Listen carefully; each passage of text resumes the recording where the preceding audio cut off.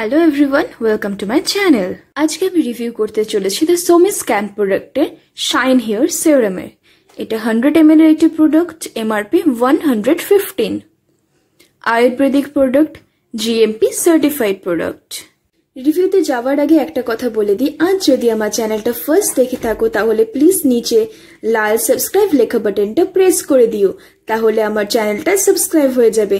And পাশে bell বাটনটাও press করে দিও। তাহলে যখনই আমি কোনো নিউ ভিডিও আপলোড করব, তখনই সঙ্গে সঙ্গে তোমাদের কাছে নোটিফিকেশন যাবে।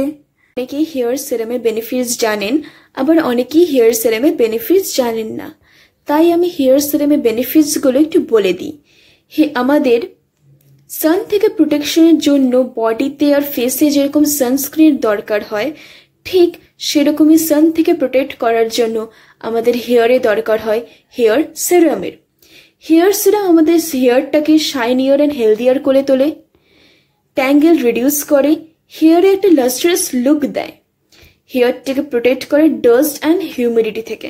কন্টেনারটা গ্রিন আর হোয়াইট কালারের এই পোর্শনটা গ্রিন কালার থাকে, আমার ইউজ করতে করতে উঠে গেছে।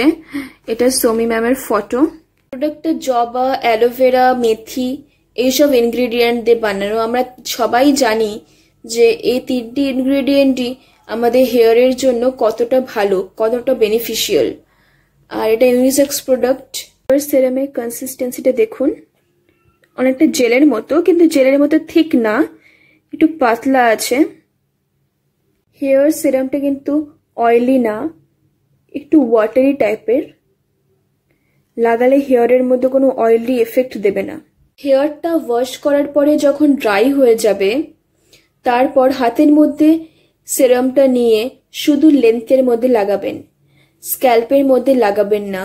হেয়ার সিরাম কিন্তু স্ক্যাল্পের মধ্যে কখনই লাগাতে হয় না। এটা ওয়েস্ট বেঙ্গলের সব জায়গায় পাওয়া যায়। ওয়েস্ট বেঙ্গলের বাইরেও কিছু কিছু জায়গায় পাওয়া যায়।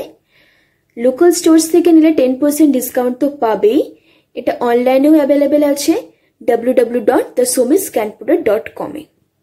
আশা করি তোমাদের হেয়ার সিরামের রিভিউটা ভালো লেগেছে। ভালো লাগলে প্লিজ লাইক করো শেয়ার করো কমেন্ট করো অ্যান্ড প্লিজ সাবস্ক্রাইব করতে কিন্তু ভুলো না।